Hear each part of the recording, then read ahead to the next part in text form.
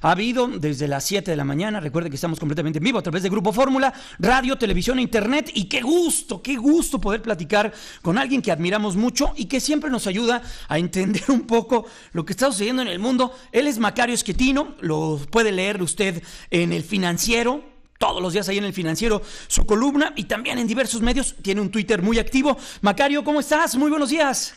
¿Qué tal? Muy buenos días. Macario, ayúdanos a entender, a ver, ya eh, en el año lo empezamos con todo el tema de China, nos ayudaste a entender todo lo que estaba pasando en China. Lo empezamos a entender con todo lo que está sucediendo alrededor del petróleo, nos ayudaste a entender el tema del petróleo. Y ahora lo, de la Fed no lo podemos dejar pasar por alto, que las tasas de interés en Estados Unidos, que también nos estaban afectando. Y ahora vemos esto del Brexit. ¿Qué es el Brexit primero? ¿Y cómo está impactando no a México, al mundo?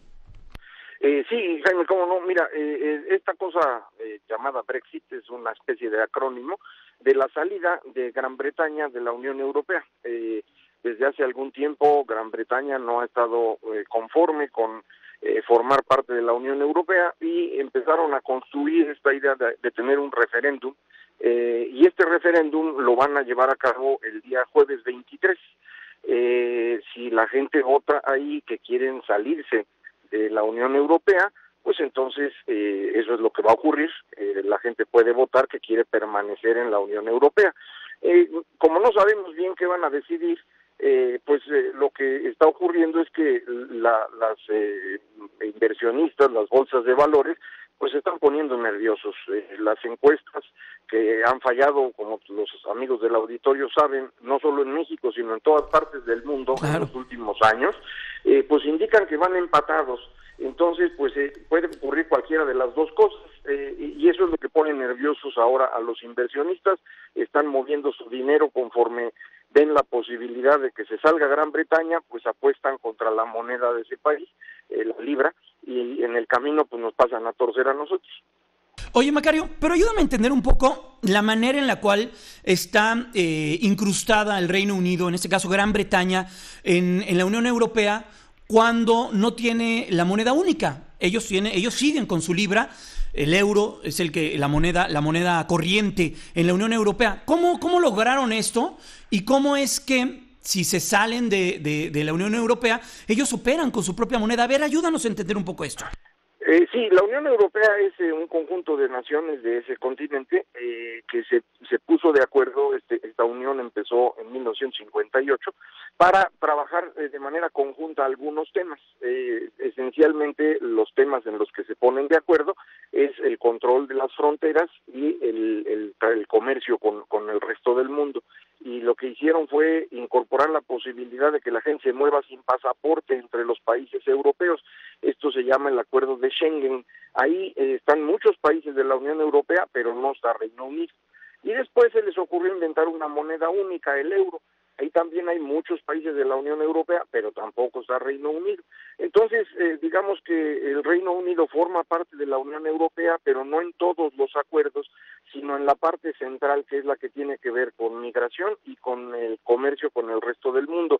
Eso es lo que perdería Gran Bretaña si se va.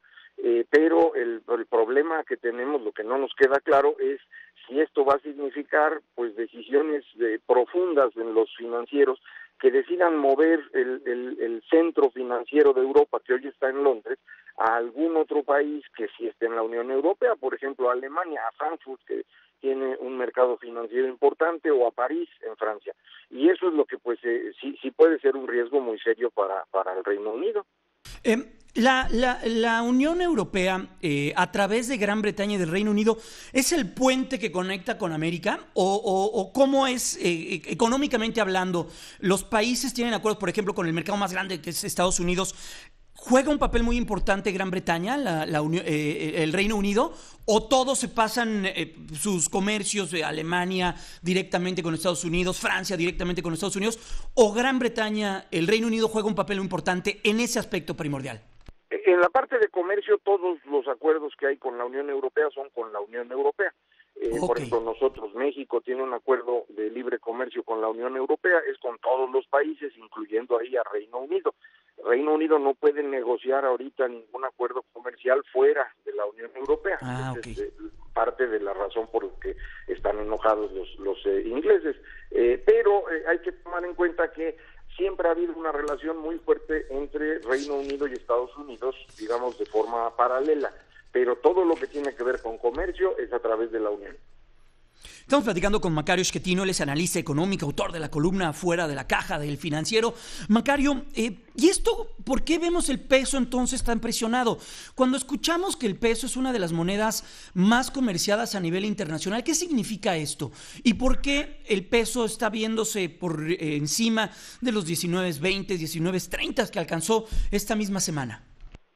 El peso es una de las 10 monedas más eh, comerciadas en el mundo, las más importantes, es la más importante de América Latina en, todo el, sistema financiero mundial, y esto significa que se puede utilizar para hacer intercambios entre monedas, por ejemplo, alguien que tiene dólares los cambia por pesos para luego cambiarlos por libras o por euros eh, o por francos suizos, y estos movimientos los están haciendo para aprovechar pequeñas diferencias de cotización entre las monedas y eso es lo que lo que hacen los inversionistas.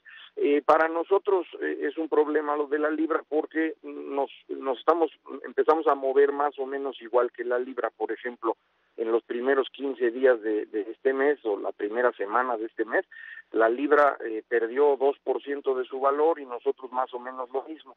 Entonces nos estábamos moviendo igual. Eh, aparentemente en la última semana, Jaime, adicional al tema de la salida de la de, Reino Unido de la Unión Europea, empezó el problema del señor Trump.